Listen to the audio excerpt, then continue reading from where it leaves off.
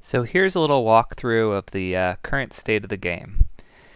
This is all mostly uh, borrowed assets and uh, Google image uh, search background, um, but I feel like it sort of gets the uh, point across of uh, what it would look like.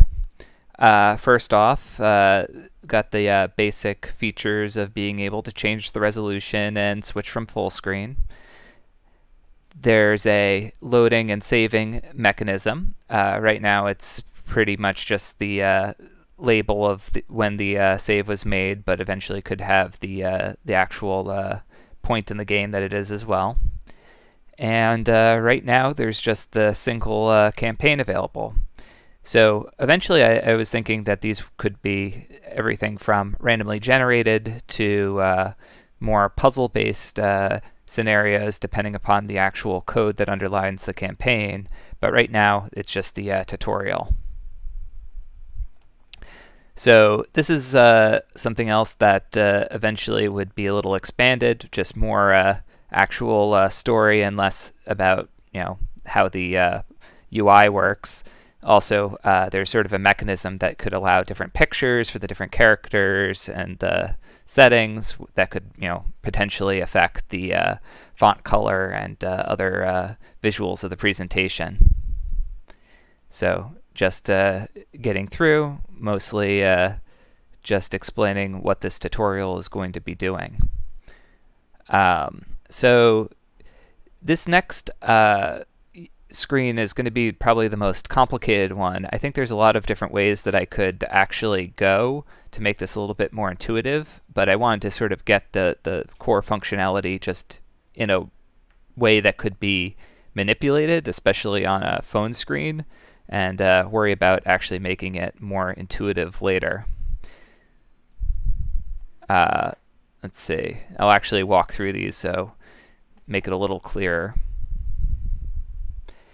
Uh, the other thing is, as a, a tutorial, uh, it would probably make more sense to uh, make this sort of text actually appear in line on the screens that it's applying to, but this is just basically to get the functionality in line. So this is the campaign map. So this is the cities that the player and the opponent are going to be fighting over. There's a choice to buy intel, which is sort of the key uh, gimmick of the game, and uh, an options, which is basically the save, load, and set same setting screen that we uh, saw in the title. Clicking on a city, it shows the uh, information about the city. There's currently two friendly troops and two and out of a possible five. This is basically just setting something based on how many spawn locations are there. Uh, we don't have the intel on how many enemies are present, which also means that we don't know if uh, once we deploy, if there'll be hostile uh, uh forces in the city that will trigger a battle. Uh, the plus and minus here indicate whether we've uh, allocated troops to move into or out of the city. You can see that Alpha City only is connected to Omega. The functionality to sort of wire this to arbitrary uh, cities exists, but for the tutorial, figured to keep it easy. Right now, we don't have any movement scheduled, and this is the screen that would allow us to uh, move troops. So we, since we have two troops, we can move them to Omega City, but we don't have any troops here, so that option is no longer uh, available. And since we don't have any troops here, we know it's uncontested, even though we don't know what the enemy presence is. So we can go to the Intel shop and see the various pieces of Intel that are available for purchase. Here we can get something that will help us in a battle in Alpha City, being able to show us where the uh, enemy is deploying to. We have 20 dollars for uh, making these purchases. And here, this will give us uh, information about where the uh, enemy troops are on the campaign map. So, don't have enough money for this, and we can see that these have been purchased. So now, uh, need to uh, press it again to refresh, but uh, we can see that there are two enemy troops here, so that means that once we deploy, a battle will commence if we had moved our uh, troops out of the city, um, it's no longer contested because there would be two enemies here and zero of our own troops. And here we would this city would be contested, where we would have two of our troops here and two enemy troops. But uh, the the purpose of the tutorial is basically to have you uh, only uh, fight in the cities that you have some intel for.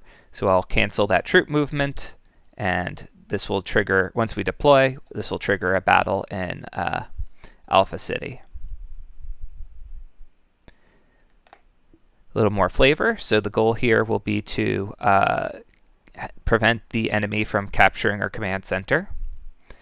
Uh, we'll be seeing a little deploy screen that'll allow us to place our troops and uh, a little bit of information on how the uh, battle UI works. So here we can see that the intel that we have on the that we purchased from the farmer shows this little uh, shadow here. We can turn that on and off. Eventually, I was thinking of making it so that Intel could have some probabilistic effect where it's not necessarily guaranteed to be correct and that you could cross-correlate uh, the results from different uh, sources. Uh, the other thing right now is here, when we say that there are two troops in the city, uh, it's pre-allocated to a certain type of unit, here a tank. Uh, eventually, I could either make it so that the moving troops, you're moving specific troops between cities, or that uh, the amount of troop points you get could be spent on different types of units. But once again, this is basically just to keep it simple for this uh, tutorial. So we will have to keep this uh, scout from being able to reach this base. So I'll block it in. This would allow me to clear out the troops. And once they're all allocated, we can hit deploy and start the battle. So we get to go first here over on the, uh, well, on the sides, you can see information about uh, what's under the mouse cursor, whether right now, whether the tile is passable or not, and when a troop is selected, its uh, attack and hit points. So I will select this tank and move it over here. This reveals these two uh, scouts. The blue is their movement range, and the red is their attack range. Uh, I'll allow this uh, tank to stay here. Uh, you can notice that once the uh, uh, mouse goes over to the side of the screen with the uh, properties, it swipes over. Move this guy up here and attack the scout. And head over here to try to cut it off and catch it before it's able to get to the uh, command center. All right, victory. Uh, there is also an options menu here that allows you to uh, save and load. So the uh, the campaign section of the code basically uh, captures all of the different conditions that make these different briefings appear.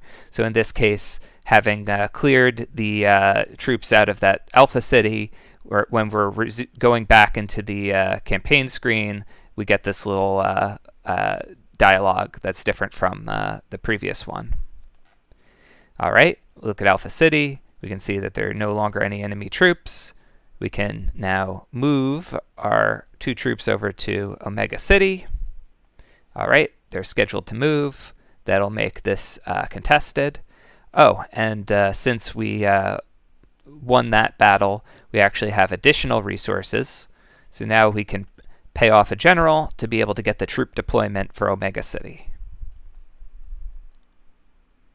All right, let's uh, deploy. Now the uh, conditions have been uh, flipped, so we are now controlling scouts while the enemy has tanks. This is a little bit of a UI issue that uh, I'd probably want to uh, address as well, where this is a window but doesn't automatically flip over, so it can potentially be blocking the screen. So you can see that the uh, general's intel is uh, hidden for the uh, unit that's over there. But uh, to be able to get through, this is actually, the um, placement of the units is random. So this was actually a particularly uh, easy configuration. Probably uh, I could encode it to always choose one of the uh, more uh, difficult paths, but we can just simply place one of our units in the center and uh, it'll have a straight shot in order to get to the uh, enemy base. All right, well, we know that the tanks aren't able to move fast enough to uh, capture our scout, so we can just move right in and uh, win the game. All right. So that's the uh, functionality that's been put in so far. Definitely a lot of uh, features about the battles and you know which units have been implemented and adding uh, more uh, tactical diversity and an actual scenario left to be done. But I think this pretty well captures the uh, core uh, interface